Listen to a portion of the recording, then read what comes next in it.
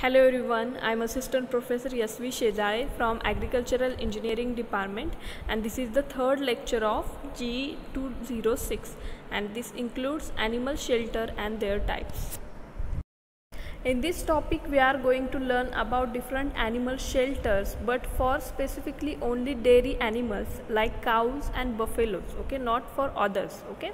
So there the, there are the different types of barn okay? Barn means it is the large structure where the animals are housed. That is called as barn. Okay we are going to learn about in this topic different types of dairy barn. So specifically there are three types of basic three types of dairy barn. So first one that is stanchion barn. Then again it have two types in stanchion barn face out and face in type. Okay then uh, next type is that loose the loose housing barn and after that open dairy barn okay? Now let's see about location of dairy barns okay? It should have good approach from the highway as well as from the farm house okay?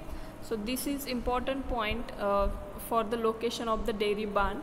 Then the milk house is the best located on clean well drained site near the barn but separated from it by a 6 meter paved passage okay?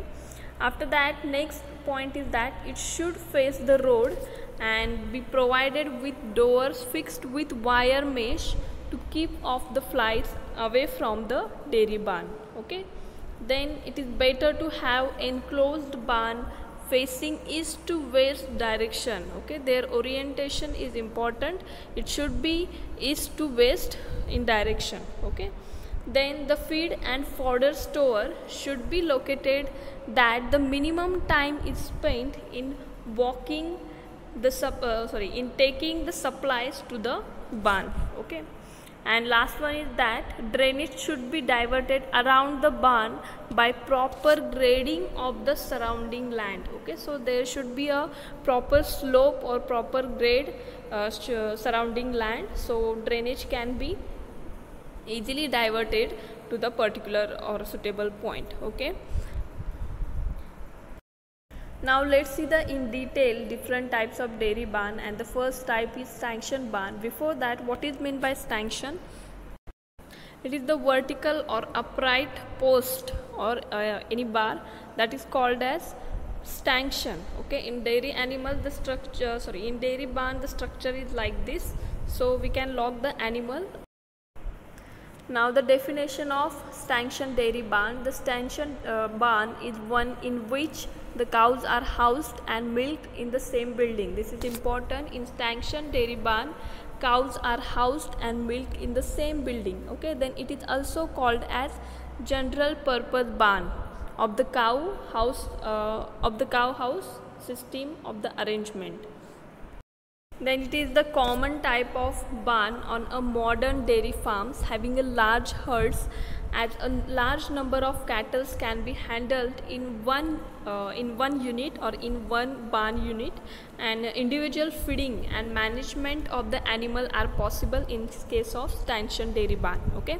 And uh, for 8 or more cows a two row barn with either face in or face out arrangement may be selected. Okay now let's uh, know about face out type arrangement. This this, this system is preferred in uh, for milch animals and uh, also whenever the barn is to be enclosed. Okay and this arrangement is important since most of the jobs are done from the rear uh, rear of the rear part of the animals and provides easy supervision okay? Face out type. This is the face out type system where the faces of the animals are outside of the dairy barn okay? Now uh, such barns are commonly built about 10 to 11 meter wide with sufficient length to accommodate all the animals okay? And by keeping the central uh, drive sufficiently wide farm tractor is used to collect the manure from the gutter okay? There is a provision of central drive for the collection of the manure from the gutter okay then face in type arrangement. In this type of arrangement manure alley can be eliminated since open space outside the barn can be used for this purpose. And uh, this saves about 20% of the floor area and cost of the construction as compared to the face out type. So in case of face in type the manure alley is can be eliminated okay and uh, this arrangement is preferred for bullocks also for open shed. Okay? And uh, the maximum length of the barn should be restricted to about 40 meters so that nearly 72 cows can be housed in one barn unit. Okay? And the, uh, the floor should be clean and permanent and daily removal of manure and provision of effective drainage system uh, are essentials to keep the cows clean. Manure alley it is the basically narrow uh, passage provided for the collection of the manure. So it is called as manure alley and it can be uh, eliminated in case of face in type of arrangement. Okay and this is the face in type stanchion dairy barn. Now let's see the different components of stanchion dairy barn. So first one that is gutters and gutters in the stanchion barn are usually 45 centimeter wide and 15 centimeter deep. This is important sentence. Gutters provided in the stanchion barn are usually 45 centimeter wide and 15 centimeter deep. Okay and for an uh, unrestricted flow of the drainage of the water a minimum slope should be provided that is about 2% okay and uh, a semi a small semicircular uh, drain drain is usually provided at the bottom of the gutter on the outside to allow the urine to drain off easily okay? And the next component is that cow stall okay? The finish for the floor should be uh, not be such that animals can sleep on it. So the surface of the floor may be left rough uh, but it should not accumulate the water on its length and its length varies from 1.2 1.65 meter and width varies from 0.9 to 1.38 meter. Okay and sufficient slope may be provided for the drainage of water into the gutter. Okay this all the specification for the cow stall. Okay. Now the next component is that manger m a n g e r. Manger it is the long trough from which animals like horses or uh, cows buffaloes can be fed. Okay. Like this this part or this trough is called as manger. Okay. This trough is called as manger now let's see the uh, specifications for the manger. Manger uh, used in barn should have width ranging from 75 to 90 centimeter and the back of the manger is about 60 centimeter above the floor so that cow may not throw the fodder, uh, fodder into the feed alley and the inside the manger is curved okay? Then the next component is that feed alley. It is the passage between the outer wall and the manger along which a pushcart full of silage may be moved. Okay, that passage is called as where the cart with the full of silage can be moved that is called as feed alley okay and a feed alley 1.2 meter wide is sufficient and the floor or uh, the for the feed alley or central drive or manure alley and cow bed should be on same level. Okay? The floor then feed alley central drive or manure alley. After that cow bed should be on a same level. Okay now the next component is that wall and ceiling. The height of the walls running along the length may be about 2 2.4 meter and the maximum height of the ceiling may be vary between the 5 and 5.5 uh, meter for a barn uh, that is 10 to 11 meter wide and walls made of good quality bricks laid in either cement or uh, lime mortar are quite strong and economical and uh, the roof truss is constructed of either angle iron or timber okay? Now the next component and last component that is door and window. In double range stall barn the doorway should be 2.4 to 2.7 meter wide on the both sides and generally sliding doors are used. In hot climates doors are sometimes avoided. And for adequate light uh, lighting 0.37 square meter of window area per cow is desirable okay? Now the next type of dairy barn that is the loose housing barn okay? And the loose housing barn is one in which cows are housed in a covered or partially covered yard but they are milked in batches in a special milking house that is called as milking parlor. Okay? This is the example of okay. This is the example of loose housing dairy barn. There is a provision of shade. Also uh, there is a provision of uh, free space for the movement of the animals. Okay? Now this type of arrangement is not uh, commonly practiced in India and it permits the animal to move about freely and allows a simple and economical construction of feeding and shelter places. And under the hot climate condition it is not even necessary to cover the entire barn area okay?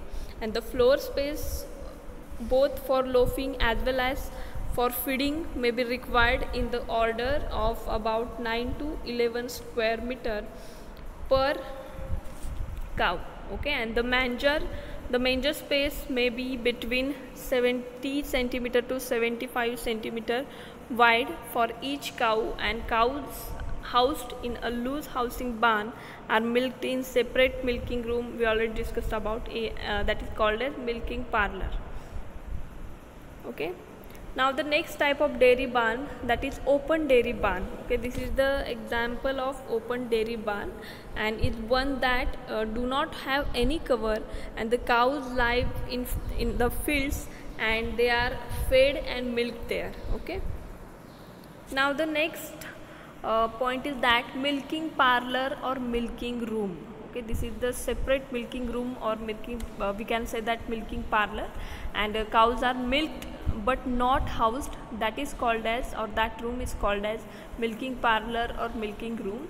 And uh, milking parlor is essential part of loose housing dairy barn but may be also used in stanchion or stall barn. Okay stanchion barn is also called as stall barn general purpose barn. Okay then provision must be uh, made for the cows to pass easily from feed area to the milking room and back to the loafing area okay? And also for keeping milked and unmilked cows separately okay? Then there are again uh, in milking room again there are two types. First one it is that tandem and second one it is that uh, second one that uh, herringbone system okay in tandem two string or single string uh, stall arrangement is provided and there are three elevated stalls are placed in a line with separate exit and entrance that is called as single string arrangement okay? Um, and on other side in double string arrangement there are two separate exits and entrances are provided okay? And in herringbone system uh, cows are arranged in parallel okay? Okay this is herringbone system. The cows are arranged parallel okay? And uh, in tandem system. This is the tandem type of system okay? The cows are present one behind another okay? And those are arranged like this. And there is a separate exit and uh, provision of separate exit and separate entry in this uh, type of system. Then next type of barn that is pen barn. Okay these all uh, pen barn community barn milking uh, room these are uh, spe special types of barns or uh, there is special provision. Okay in pen barn used for sheltering and restricting the dairy animals. Okay specially used for the calving then calf rearing and housing the sick animals okay? Pen barns are specially separately constructed and uh, they are away from the main dairy barn and uh, size for that uh, about 11 to 17 square meter and shape uh, will be maybe rectangular or square and minimum width for this type of barn that is about 3 meter okay? Now the last point that is community barn what is meant by community barn cows and buffaloes are housed at a common place with the provision of facilities like roughages concentrates drinking water by the government or cooperative organization called as milk colony okay? And there is a always a dairy attached to the colony to process the milk and milk products and then distribute to the nearby city okay? And such milk colonies have been successfully functioning near the cities like mumbai Kol and kolkata. Okay now this session is completed here. So thank you for listening